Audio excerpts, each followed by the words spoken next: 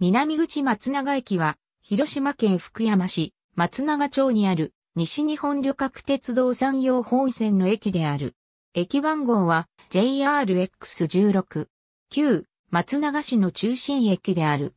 単式ホーム一面一線と島式ホーム一面二線、計二面三線のホームを持つ地上駅で鉄筋コンクリート製の橋上駅舎を有する。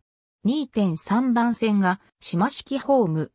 尾道方から2番線に進入できないが、2番線から福山方には進出できる得意な作りになっている。単式ホーム東側の切り欠き部に側線設備を持つ。尾道駅管理の直営駅で緑の窓口が設置されている。愛子か利用可能駅。バリアフリー対策で駅舎とホームをつなぐエレベーターが設置された。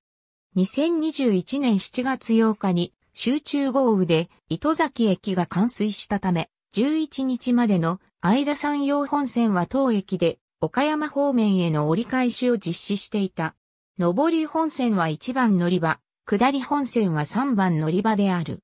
下り副本線である2番乗り場は通常使われないが、事故やトラブル、大雨、落雷などによるダイヤ乱れの場合に使用される場合がある。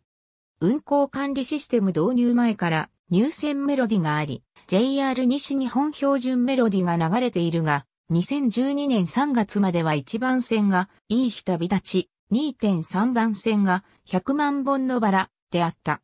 近年の1日平均乗車人員は以下の通りである。松永駅周辺はバス停が複数あるので注意が必要である。松永駅北口バス停は松永駅北口から約30メートル東にあり、一般路線バスが発着する。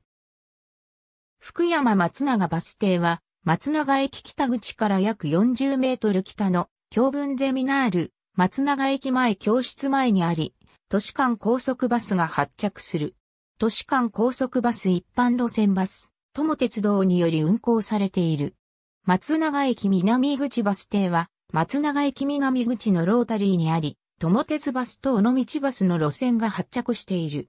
注釈一部、小野原泊出店。ありがとうございます。